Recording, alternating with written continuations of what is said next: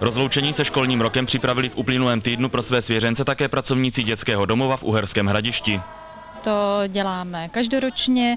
Letos jsme to rozšířili o to, že jsme pozvali vlastně jako hosty naše buď sponzory, naše přátele a další a další lidé, který, kteří nás obklopují vlastně v průběhu celého roku a se kterými nějakým způsobem určitým spolupracujeme.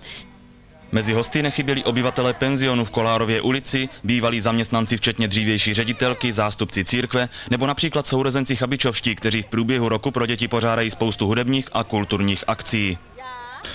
No, jak myšlenka jako taková, tak ta v nás byla vlastně od jak živa, protože už od malička jsme byli vedeni k tomu, že kolem nás jsou lidé, kterým je potřeba pomáhat a myslím si, že děti z dětských domovů eh, neodmyslitelně patří mezi tyhle ty lidi, kteří prostě s si nemůžou sami vydělávat a nemůžou vyrazit jenom tak sami za zábavou.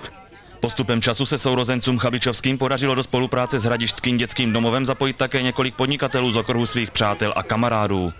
Prostě každý, každý se snaží dát uh, ruku k dílu a myslím si, že si ostatní z toho můžou vzít nějaké ty příklady. Pro zpestření každodenního života připravují pracovníci dětského domova v průběhu celého roku prostávajících 30 dětí ve věku od 4 do 19 let také spoustu dalších kulturních či sportovních akcí, za kterými často vyjíždějí i mimo Uherské hradiště.